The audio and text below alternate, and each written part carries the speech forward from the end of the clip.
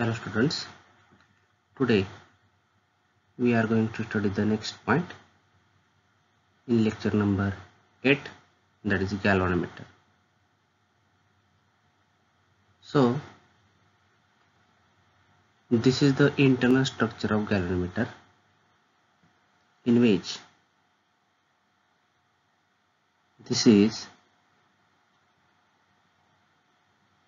horseshoe magnet म्हणजे या ठिकाणी घोड्याच्या नालाकृती घोड्याचा जो पाय असतो त्या पायाचा नाल आपण म्हणतो त्याला टाप म्हणतो. त्या टापेच्या आकाराचा नखांच्या आकाराचा हॉर्शू मॅग्नेट आहे. आणि या हॉर्शू मॅग्नेटला या ठिकाणी जसं घोड्याच्या पायाच्या टापेच्या मध्यभागी जसं मोकळी जागा असते तसं इथं मोकळी जागा आहे. आणि यामध्ये हे रेक्टँग्युलर कॉईल आहे. हा आयर्न कोर आहे. सॉफ्ट टायर कोर डबीसारखा आहे बघा सिलेंड्रिकल आणि या एन आणि एस पोलमध्ये ही आपण रेक्टँग्युलर कॉईल जी आहे ती अटॅच केलेली पिहोट केलेली. नाही त्याच्यातून हा पॉइंटर केलेला आहे बघा पॉइंटर दिले इथं. हे स्केल आहे अँग्युलर स्केल मध्ये शून्य डावीकडे दहा वीस तीस उजवीकडे दहा वीस तीस. या पद्धतीने हॉर्शो मॅग्नेट आपण याला म्हटलेले हा एन पोल नॉर्थ पोल हा south pole S pole iron core म्हटले रेक्टँग्युलर कॉईल आहे ही. आणि ही स्प्रिंग आहे. स्प्रिंग कशासाठी तर याला? अँग्युलर डिस्प्लेसमेंट देण्यासाठी आहे. तर इंटरनल स्ट्रक्चर आहे. आता आपल्याला हे इंटरनल स्ट्रक्चर झालं आणि हे आउटर स्ट्रक्चर किंवा एक्सटर्नल स्ट्रक्चर कसं यायचं बघा. सेम तेच आहे. फक्त एका प्लॅस्टिकच्या केसमध्ये आपल्याला दिसतंय. इथं गॅलनमीटर आपण जी हे स्केल आहे. झिरो दहा वीस तीस मायनस आणि उजव्या बाजूला झिरो दहा वीस तीस बस. आणि या ठिकाणी हा कॉईल आहे आणि ते रेक्टेंग्युलर कॉईल आतमध्ये असणार. हे मायनस आहे हे सेंट्रल टॅप आणि हा प्लस टर्मिनल आता हे जे गॅलनमीटर आहे या संदर्भात आपण थोडीशी माहिती बघूया. गॅलनमीटर हे अशा पद्धतीचं डिव्हाइस आहे की जे आपण स्मॉल करंट किंवा वीक करंट मोजण्यासाठी वापरतो. So galvanometer is a device which is use to measure the weak current म्हणजे लहान प्रमाणातला जर करंट मोजायचा असेल किंवा कमी तीव्रतेचा जर करंट मोजायचा असेल सर्किटमध्ये एखाद्या तर आपण गॅलोमीटरचा वापर करत असतो. आता ह्याचं स्ट्रक्चर कसं आहे? जसं आता मी सांगितल्या पद्धतीनेच की या ठिकाणी हॉर्शू मॅग्नेट आहे नालाकृती मॅग्नेट त्यानंतर हा एन पोल आहे त्याचा. हा जो दिसतोय तो.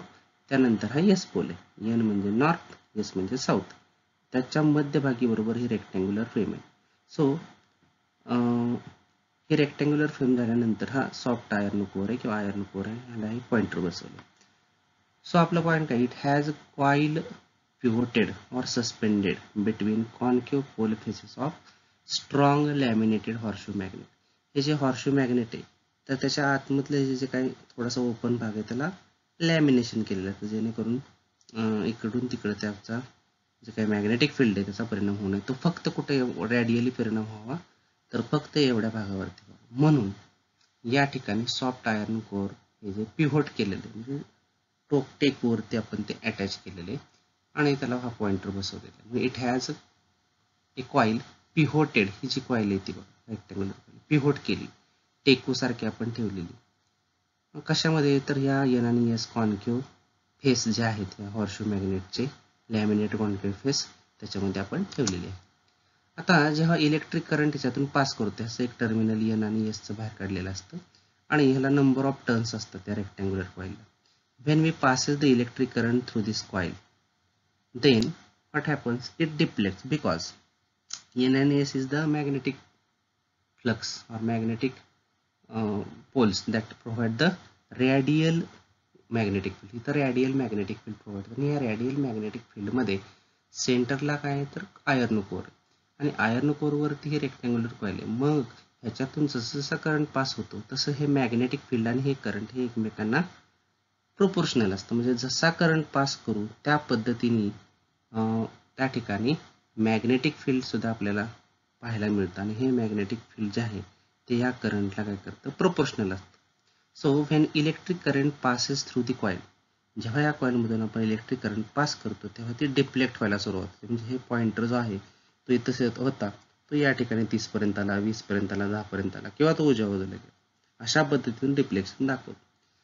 म्हणजे हे डिप्लेक्शन कशावर अवलंबून आहे? तर जेवढा जास्त तुम्ही करंट ह्याच्यातून पास कराल the deflection is proportional to the current in the coil so maximum current gets the maximum displacement in the coil So the deflection of the coil can be read with the help of this angular scale or uh, with the help of with the help of the scale as well as the pointer.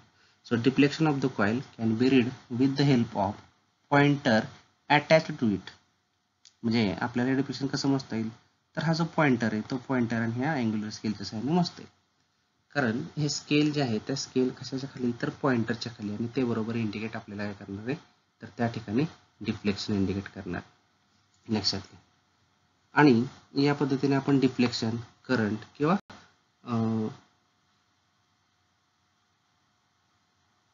आपण या ठिकाणी मोजू शकतो. लक्षात आता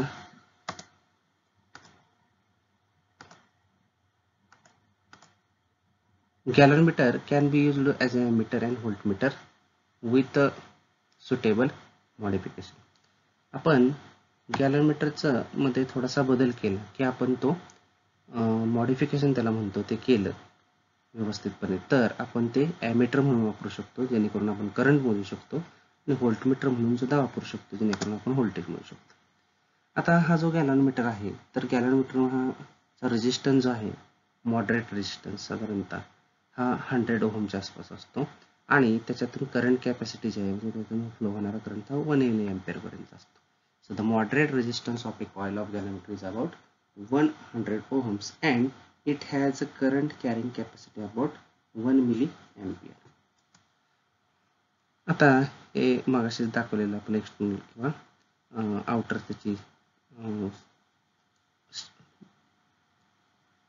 form आहे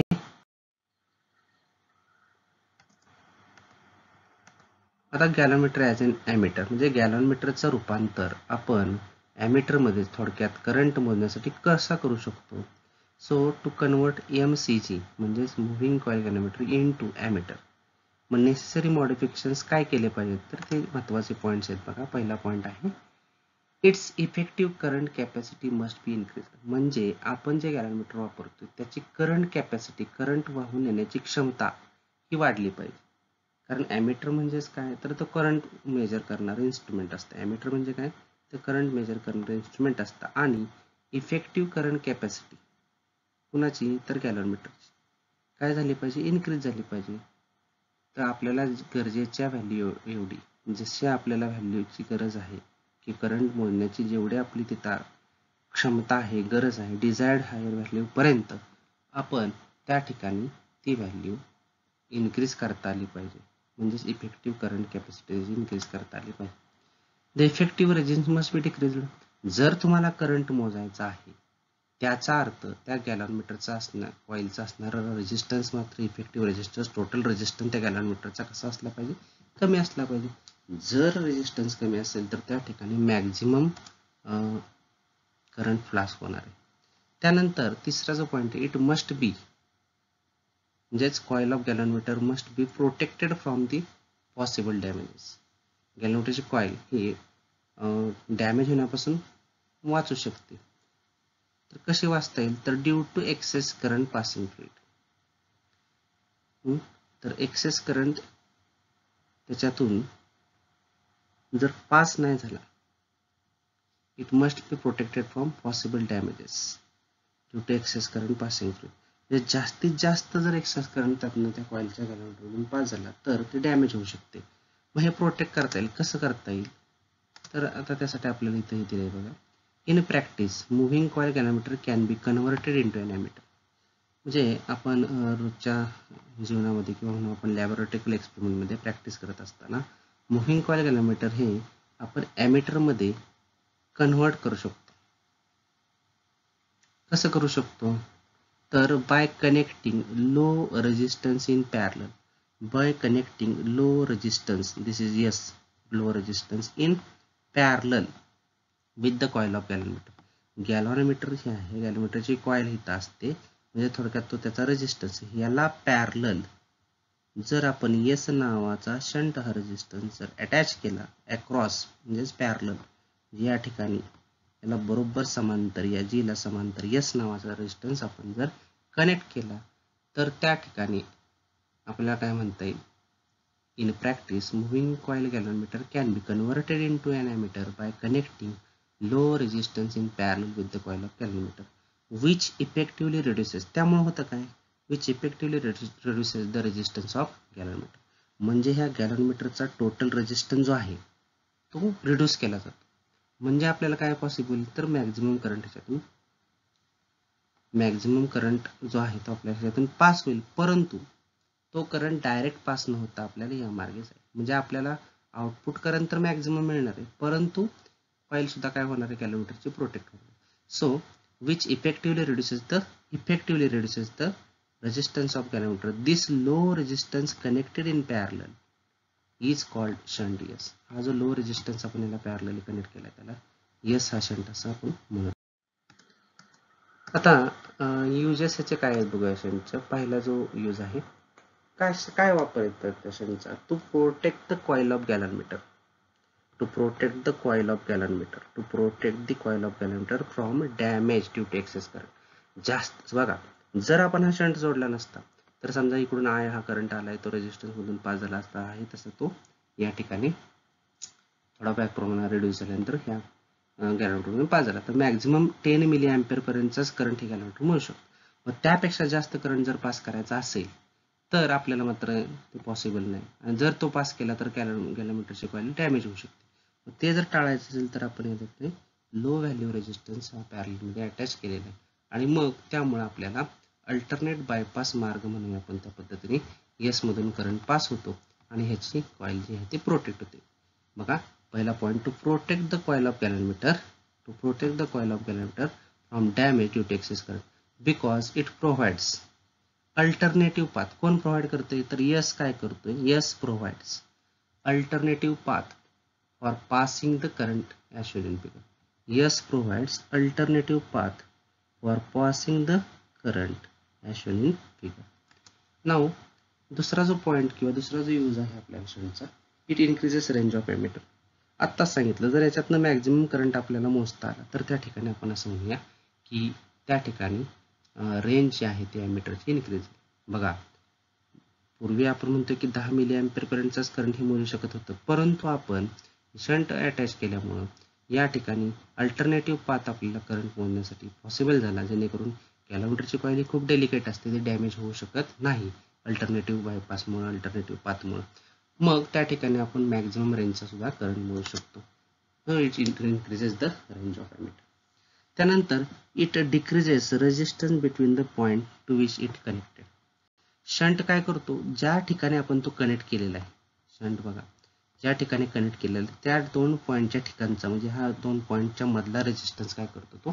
तर decrease करतो. म्हणजे आपल्याला तिथं करंट हा मोजायला येत नाही.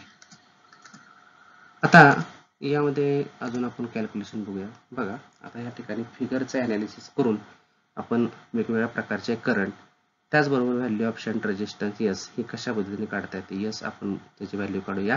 त्यानंतर करंट आय जी आणि आय एस ची व्हॅल्यू काढूया.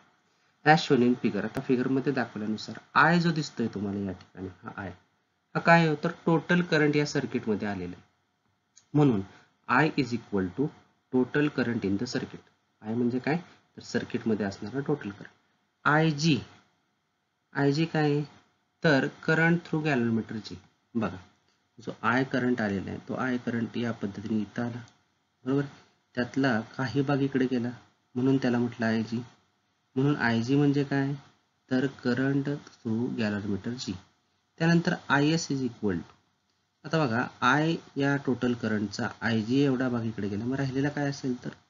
इकडे आलेलं. त्याला काय म्हणले? एस मधून जातोय म्हणून त्याला म्हटलं I S so I S is equal to current through shunt S S मधून जातो जाणारा जो करंट आहे त्याला आपण आय एस असं म्हटलेलं आहे.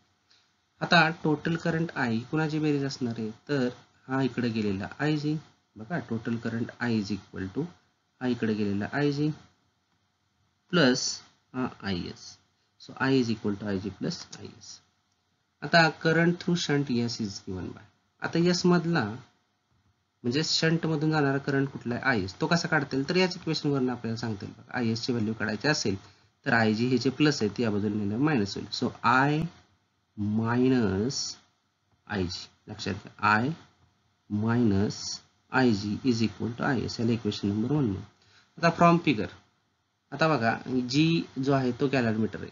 बरोबर आहे? तो रेजिस्टन्स सारखाच ऍक्ट होतो त्याच्या कॉईलमुळे आणि एस हा शंट आहे. तो पॅरल आहे ह्या जी मग इथलं जे पोटॅन्शियल डिफरन्स असेल किंवा इथलं जे व्होल्टेज असेल पोटॅन्शियल डिफरन्स असेल कुठलं ह्या पॉईंटमधलं आणि या पॉईंटमधलं त्यालाच बरोबर समांतर हा पॉईंट आहे.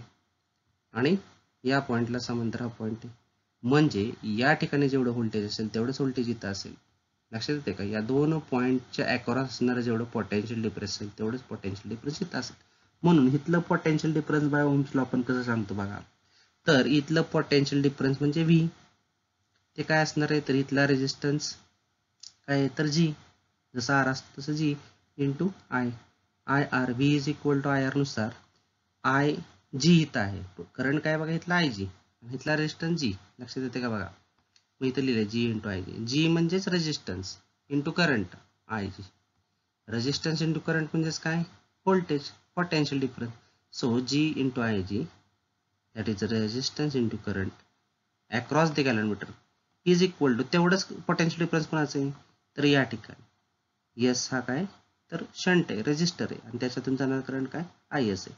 So current into resistance I into R किंवा I into S I S into S लक्षात आहे का? त्यानुसार. आय एस इंटू एस म्हणजेच काय?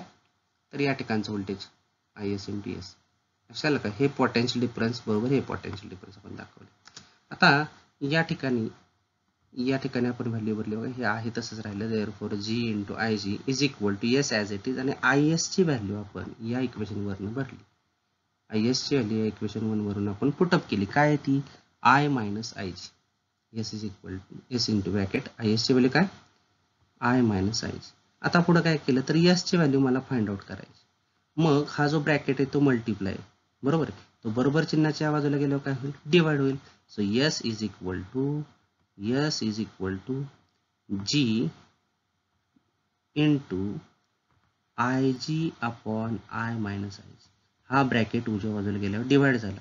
लक्षात घ्या. So S is equal to G I G divided by I minus I G equation number two so this is the value of shunt register लक्षात घ्या.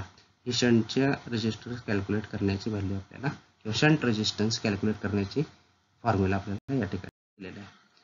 आता अजून आपल्याला थोडंसं याचे मॉडिफिकेशन बघूया. इफ द करंट आय हा जो करंट आय जो आहे तो एन टाइम्स दॅन आय जे असेल म्हणजेच गॅलॉन मधून जाणाऱ्या करंटच्या एन पट गॅलॉन मधून जाणारा कुठला करंट आहे हो? तर आय जी. त्याच्या एन पट हा टोटल करंट आहे म्हणून. म्हणजेच आय जी हा लहान आहे. त्याच्यात यन पट आपण म्हणजे जसं दुप्पट म्हणतो तिप्पट म्हणतो चौपट म्हणतो आहे ना? त्या पद्धतीने एन इंटू आय जी पट केल्यानंतर आपल्याला टोटल करंट मिळतो. पुन्हा आपण असं म्हणूया I is equal to N into I G now equation two becomes equation दोन आपल्याला माहिती वरती होतं तेच. एस इज इक्वल टू बरोबर? त्याच्यामध्ये G into I G as it is लक्षात घ्या. मग त्याच्यामध्ये फक्त आपण पुट काय केलं तर आयची व्हॅल्यू आहे ती एन इंटू आयची पुट बाकी राहिलेली व्हॅल्यू मायनस आय जी तशीच. S is equal to G I G upon N into I G आयची व्हॅल्यू काय भरली? N into I G minus I G is equal to आता हा आय जी बरोबर आहे वरती आणि छेदात सुद्धा या दोन्हीतनं कॉमन काय निघाला? I G. I G common काढल्यामुळे आय जीला आय जी कॅन्सल झाला. मग राहिलं काय? G upon N minus one so this is the value of shunt to increase the range to increase the range N time लक्षात घ्या. ही value आपल्याला शंटची मिळाली.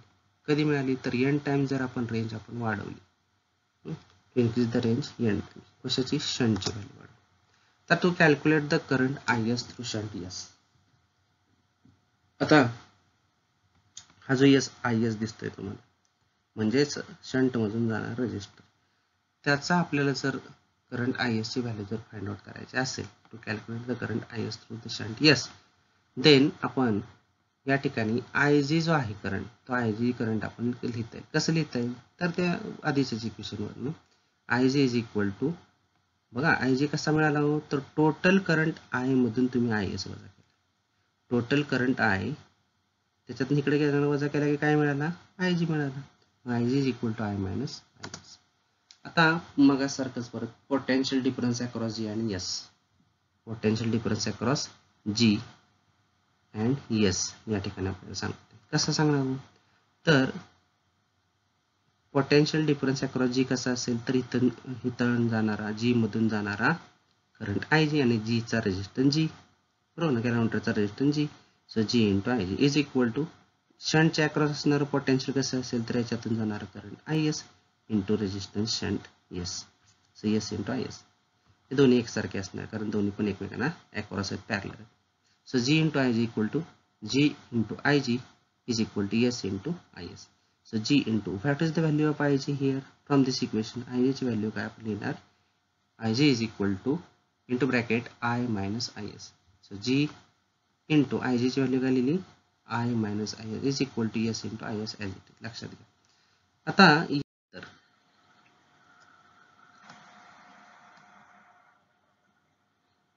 तेच परत इक्वेशन आपण कन्सिडर केले बघा therefore G into I G is equal to S into I S हे प्रिव्हियसली आपण परत दुसऱ्या पेजवर आलं. आपण लिहिले सो जी इंटू आय जीची value I minus I S is equal to S into I S आता ह्यांचं ह्या जीने ब्रॅ ब्रॅकेटमधल्या ज्या दोन टर्म्स आहेत त्यांना मल्टिप्लाय करू. G into I G I minus लक्षात घ्या. G into I S is equal to S into I S therefore G बघा आता मी काय करतोय तर आय एसच्या टर्म एकत्र आणायचं. म्हणजे हे minus G into I S आहे ते उजव्या बाजूला लिहिणार लक्षात आलं का? मला आय एसच्या टर्म एकत्र आणायच्या. मग मायनस जी इंटू आय ते उजव्या बाजूला लिहिणार काय होईल? प्लस होईल. सो डाव्या बाजूला काय राहील? G into I is equal to minus G I S होतं ते प्लस झालं. G into I S plus S into I S आता दोघातनं कॉमन काय निघू शकतं? तर I into S sorry I S हे कॉमन निघू शकतो. आय सपिक्स एस हे कॉमन निघू शकतं. So G into I is equal to G plus S ब्रॅकेटमध्ये G plus S आणि कॉमन निघाले ते I suffix S I S मग आय एसची व्हॅल्यू कशी काढणार? तर जी प्लस एस हा ब्रॅकेट इथं मल्टिप्लाय तो या बाजूला आणला तर डिवाइड होईल. So G upon G plus S into I so this is the value of current through resistant register so या प्रकारे आपण गॅलॉनमीटर म्हणजे काय याची माहिती पाहिली. त्यानंतर गॅलॉनमीटर ॲज अन ॲमिटर काय आहे? कसं कन्वर्ट करता येतं? त्याचे युजेस काय? आणि कशा पद्धतीने आपण ॲमिटर कन्वर्ट झाल्यानंतर त्यासाठी शंट रजिस्टर यस त्यानंतर करंट आय एस आणि करंट आय जी हे व्हॅल्यू कॅल्क्युलेट करू.